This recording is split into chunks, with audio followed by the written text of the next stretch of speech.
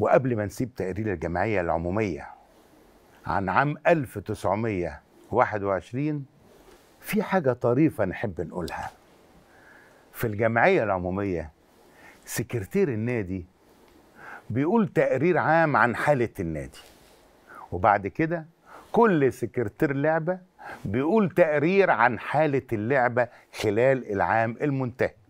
تعالوا نستعرض مع بعض تقرير سكرتير كرة القدم وأسلوب صياغة الكلام عن المباريات والأهداف في الوقت ده.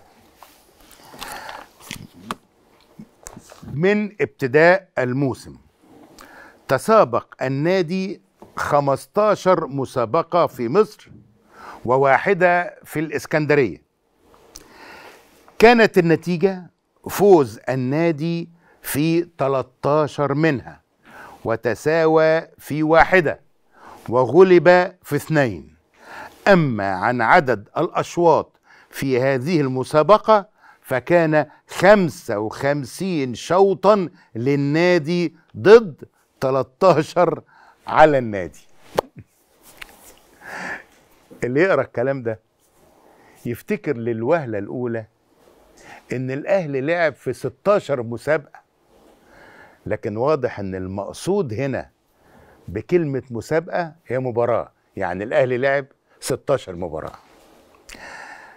كسب 13 وتعادل في مباراة وخسر مباراتين. طيب تعالوا نشوف حكاية ال 55 شوط دي. المقصود بالأشواط هنا الأهداف. يعني الأهلي أحرز في ال 16 مباراة 55 هدف. واستقبل مرماه 13 هدف. يعني الهدف كانوا بيقولوا عليه شوط. يمكن جاي من شوطة مثلا مش عارف بالظبط. طبعا دلوقتي صياغة الجملة اتغيرت خالص. لكن نهاية سنة 1921 وبالتحديد في أكتوبر منه حصلت حاجة كانت البداية لتغيير شامل في الرياضة المصرية. والحاجة دي هنعرفها لو أحيانا وأحياكم ربنا في الحلقة القادمة إن شاء الله.